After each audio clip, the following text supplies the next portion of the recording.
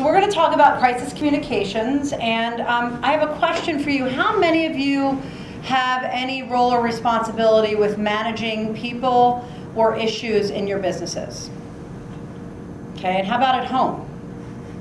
right?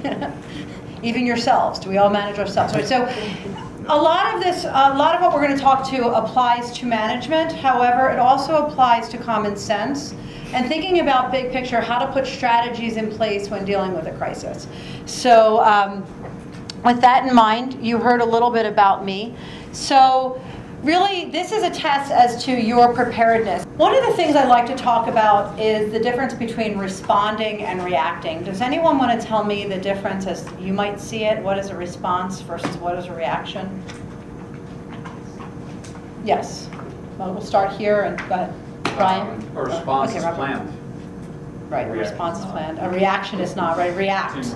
right? What do we do at home? We react home, right? We, we, and when we respond, oftentimes we're thinking about what we're going to say.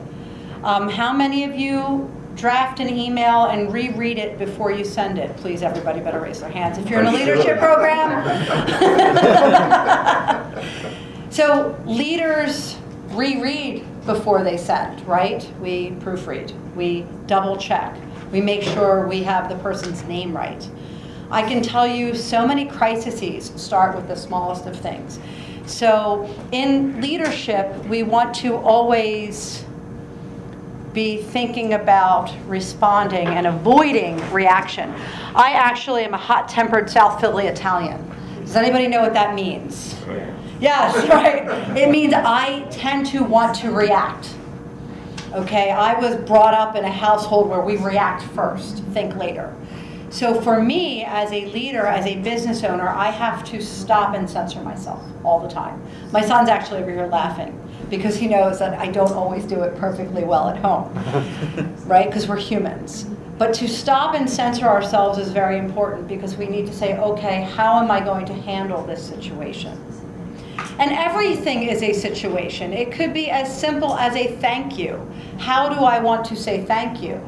But the way you say something will always elicit something else, either someone else's response or reaction. So here we have a crisis management plan. And while you may not ever have to put a crisis management plan in place, you may become part of a crisis management team. So I want you to think about this from every role, from every position that you're in now in your company or a position you might grow into. Because frankly, as a part of a crisis response team, they are some of the most important positions in any organization. This holds true for for-profits and nonprofits alike. If you remember a few years ago, Planned Parenthood went through a major crisis uh, when I mean, I do a whole program about that. It's actually a three-hour program about how that led to uh, a $10 million loss. And really think about that because the CEO made a decision that affected that, that affected public policy, that affected public presence, and so on and so forth. So think about how you can be a part of a team. We're going to talk about crisis scenarios and what the needs are. We're going to talk about how to develop those checklists, a media and social media policy, implementation training. Um, and so these are the steps you would go through if you were on a crisis response team or in the planning process. So, and what you'll find is at the end of the presentation, I'm going to show you what a good response looks like. The beginning of the presentation, however, is very text heavy because I wanted you to have something to take back with you. I wanted you actually to have the steps so you say, this is what I need. Um, so rather than me just talking and showing you pictures, which I often like to do, I really wanted to give you the tools you needed to be successful. So who are some of the people that go into a crisis response team? Anyone have uh, some thoughts on, on that? Who you might want on a crisis response team? Somebody who's a really good public speaker. Let's start there. Go ahead. PR, social media, um, representation. Somebody who knows how to manage PR and social media, absolutely. A spokesperson. Safety and security. IT. Yep. So think about all of your company's assets. No matter if you're in a bank or if you're in a nonprofit, the company has assets.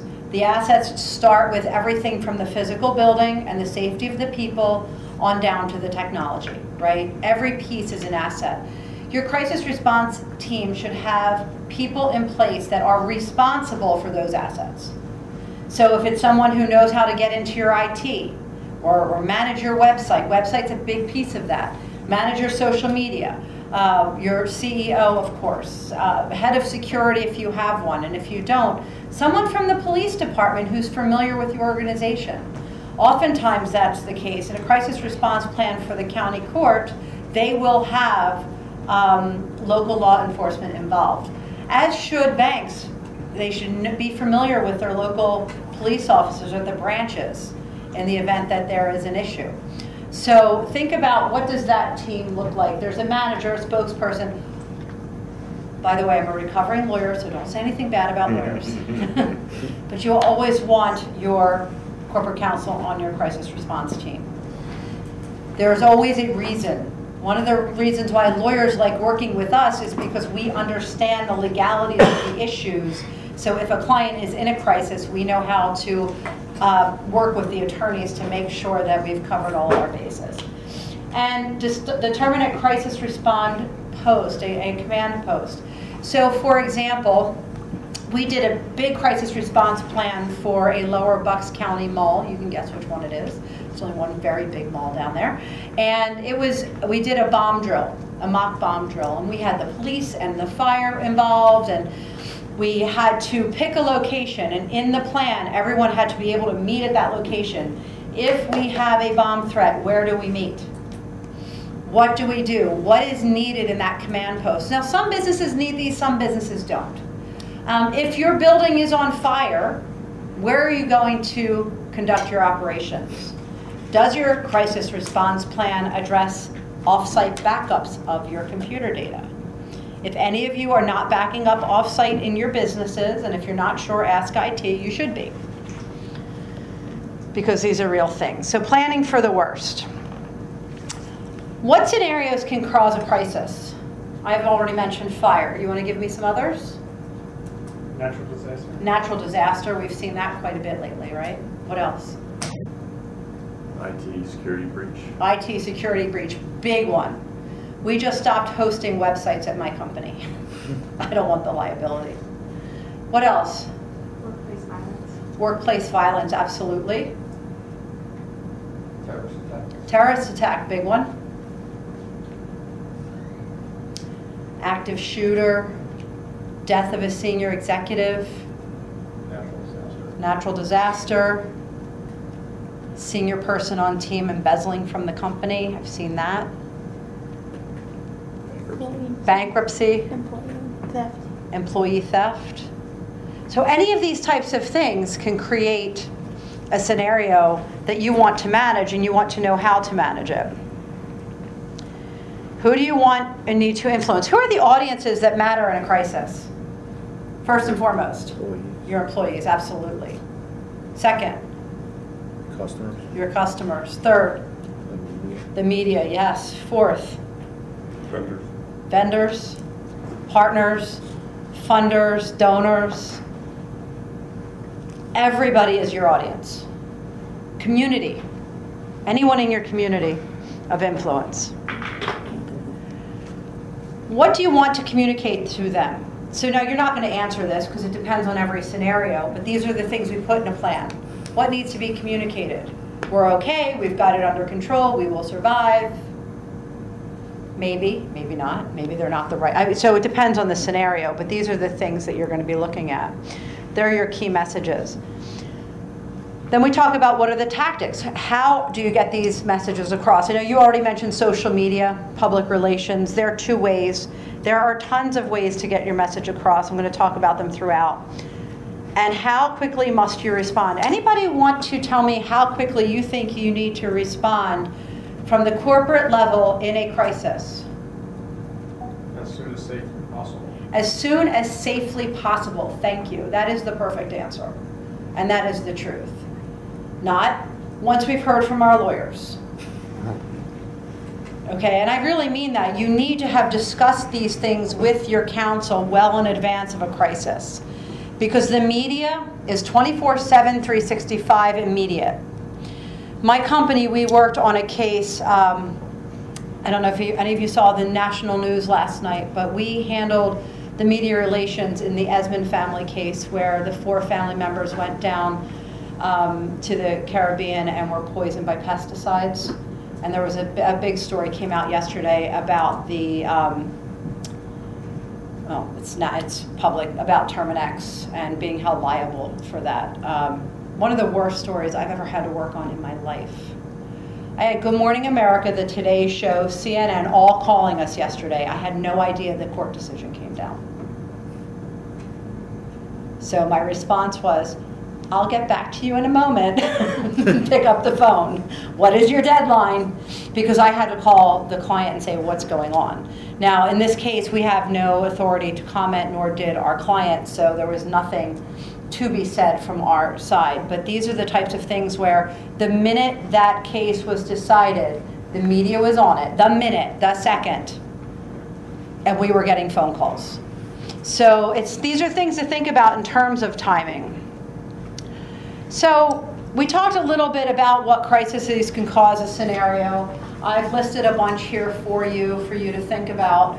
So with each of these, when you go through planning, you have to think about what is the actual issue. Okay, that's a really important thing to define. What is the actual issue? Not the perceived issue, but the actual issue.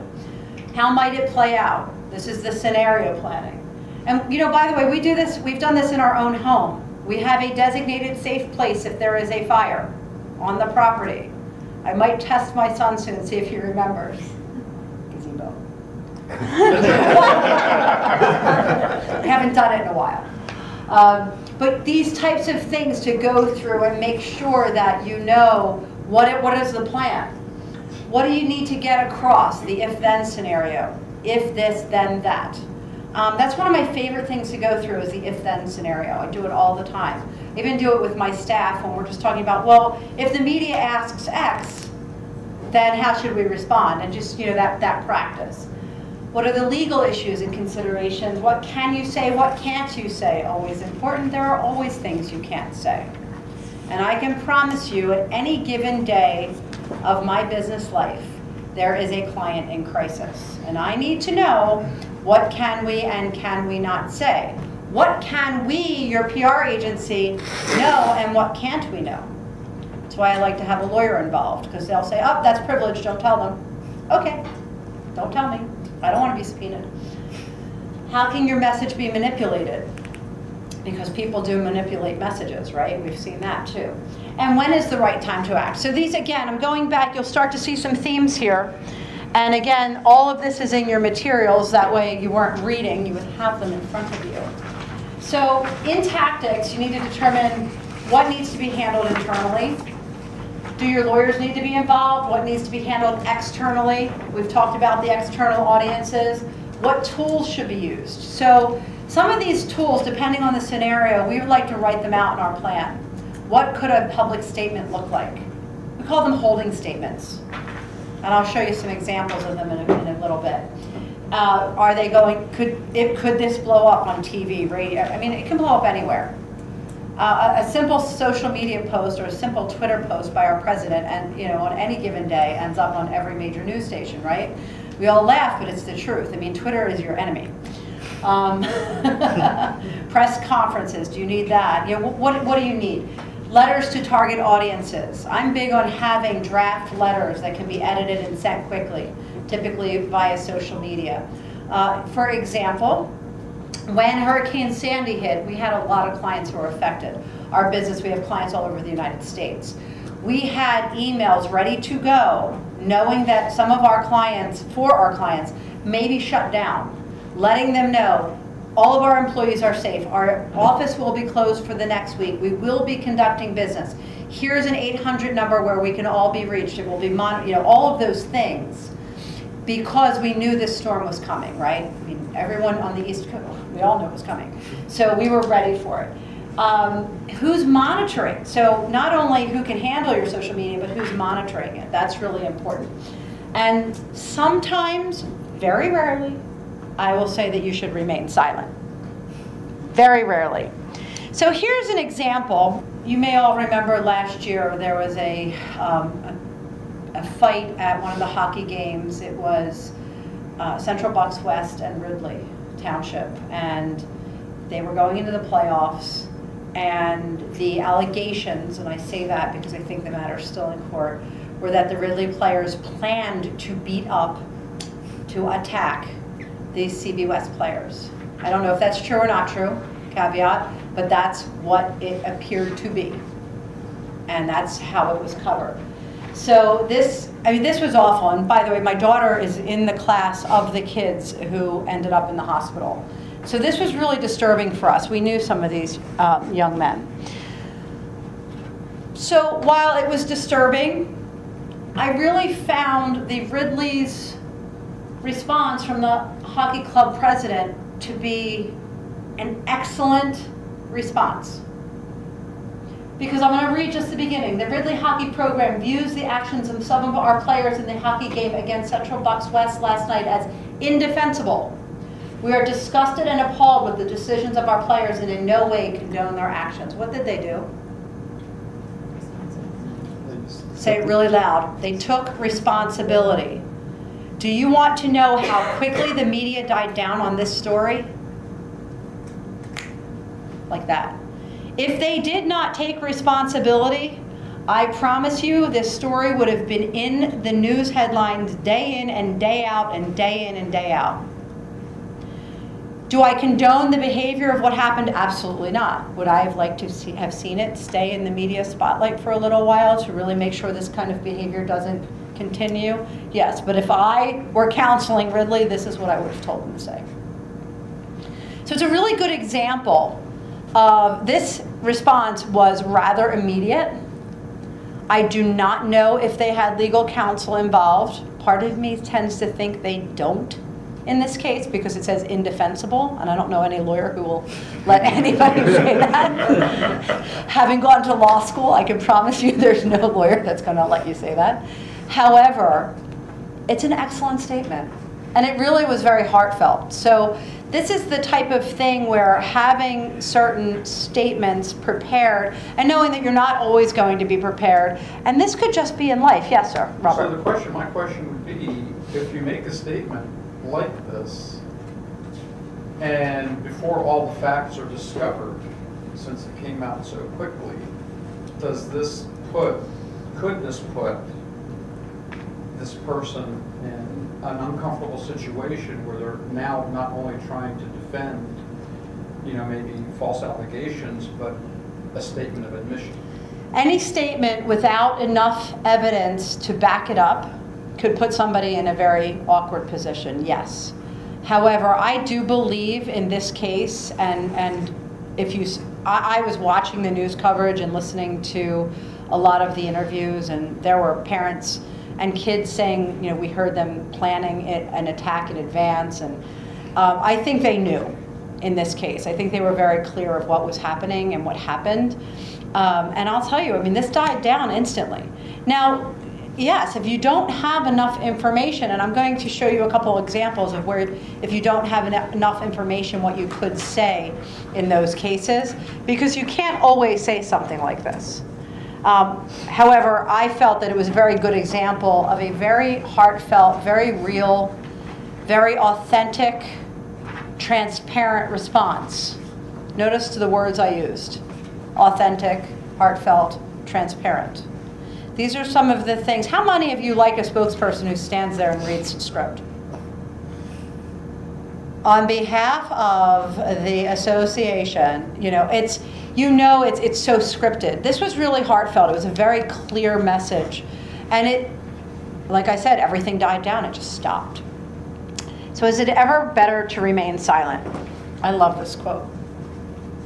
As we must account for every idle word, so must we account for every idle silence. How many times did you say, You didn't answer me? Right? I probably say it to my kids all the time. So alternatives to no comment. If you take anything away with you, this is a really, these are really important messages to have in your arsenal, no matter what. Let's say perhaps you sit on a board. This, perhaps this will never come up for you in your current business, but you sit on a board where it might. These are the types of statements that you want to know how to use. We are aware of the situation and are working to gather the facts. We will share verified, keyword, information publicly when we are able, to your point. But it answers them. It answers, so if it's a media question or people are calling on the phone and asking questions, let's say it's a data breach at a bank. Let's say that there's a skimming issue. People are hearing about it, they're calling. You need to have a statement for custom, for your customer service reps. They need to be able to say something. We're aware of an issue. These are the steps we're taking right now. Give me your information. We will contact you within two hours, whatever the case may be. So I know we have a lot of banks represented, that's why I use that example, but these are real things that happen every day. We appreciate your feedback. Hearing from our customers is important to us. We are investigating the matter and will respond when we have more information. I didn't say anything different than the first one, by the way. Yes, my lawyer is showing through. But these are things, people want to have you respond. Whenever you see somebody um, on television and the news, they put the mic, mics in their face and they go, I don't have a comment, I don't have a comment. What's the first thing you feel about that person? That guy's guilty. That guy's guilty? Totally shady. Shady, right? What's he ashamed of? What are they ashamed of? Now, perhaps the person didn't do anything wrong, right? All they have to do is say something. Because it's really about how you come off, not what you say, most of the time. This matter is being handled by our legal counsel, and as a result, we are unable to provide more details at this time. Please provide us with your contact information, and we will follow up as soon as we are able. Again, as soon as we are able. You've made no promises, really, because you may never be able to follow up. But you've said something that's respected the fact that they've reached out to you. And we've had to use these types of things over and over again for clients. I hear that such and such and so and so and blah, blah, blah, blah, and we have it on good authority. I'm like, I understand you have it on good authority. However, so, you know, and these are some of the things where you may never have to use them, but if you do, keep this uh, close by because there's not a lot of things you can say sometimes, but having something is better than nothing. I love every, everything we do in my office. I love to go back and say, okay, what did we learn from this? What did we learn from this? Some of the one of the most important questions you can ask. So when we did the um, bomb training at the mall, the most important part of that was for all of us to meet and do the postmortem. We sat down and said, what did we learn? We learned that that hallway is not safe. We learned that this is not the best point for a command post, that is. We learned that in order for us to evacuate the building, we might have to open up more of the um, exterior exits. You know, whatever the case may be, I don't, I actually, that was a long time ago, I don't recall exactly if they were the things that we learned. But I can tell you there is always something to be learned. We learned that this member of the media was gonna blow it out of proportion no matter what we do, right? Sometimes that's the case. Or we learned that this member of the media is really, really dead on accurate, so we should always call them first. I have, there's people that I always call first, I can tell you, because I know that they're always going to have integrity in their reporting. And they're going to take the time to fact check before they're going to worry about whether or not they're the first to the story. That's very important to me. So these are some of the things. Then you update your crisis response plan. Your, your, so you want to go through that process. Sometimes you might say, you know what? That person just, they'd be really good at X, but maybe they're not the right person for this role on the crisis response team. Nothing wrong with that. Put them in a different role. Update your contact list. I have found in doing this that we didn't have the right cell phone numbers for people. It was mistyped in the plan. Not a good thing if you need to reach somebody at 2 o'clock in the morning. Or, better yet, did you tell them they're on the crisis response team? By the way, if you put somebody on it, they need to know it. It's kind of like designating somebody as the trustee on a will. Oh, I had no idea. I don't want to be the trustee. You know, I mean, you, so it's, it's communication, very important. And train the team. Go through scenario planning. Have the conversation like you're having today. Think about the issues. How does this affect us?